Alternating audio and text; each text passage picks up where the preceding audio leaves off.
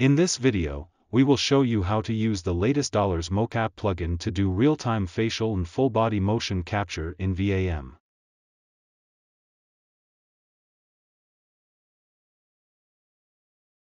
To get started, you'll need to download the latest version of the Dollars mocap main program from the website, as well as the VAM plugin. Once you have the programs downloaded, copy the VAM plugin to the AddonPackages directory of VAM. Next, open a scene in VAM. Before you begin, please make sure that in the User Preferences Security tab, the three options related to plugins are checked. Let's enter Edit mode, select the current character. Go to the Plugins tab, click Add Plugin, and then choose the CS list file in the Dollars mocap plugin.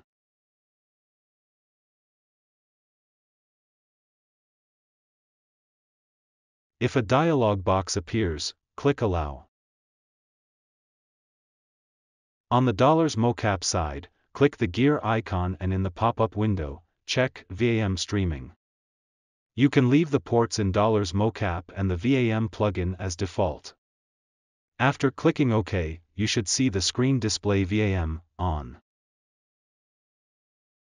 Next, in the plugin panel, click Connect, and you can now control the character in VAM using Dollars mocap.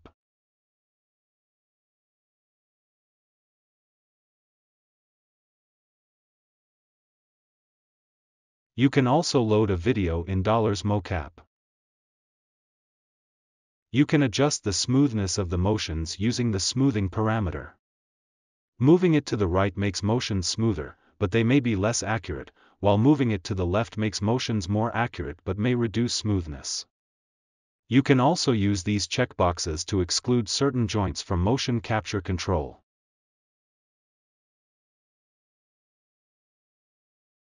If you need to adjust the character's position, you can disconnect from Dollars mocap, make the necessary adjustments to the character's position, and then reconnect.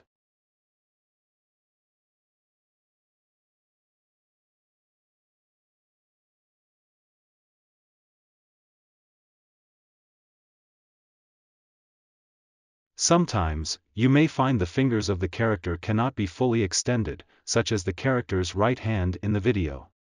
In such cases, you can disconnect the motion capture, go to Pose Presets tab, click Select Existing, select $M mocaps directory on the left, and choose T-Pose. After that, reconnect the motion capture, and you should see that the hand can be extended normally.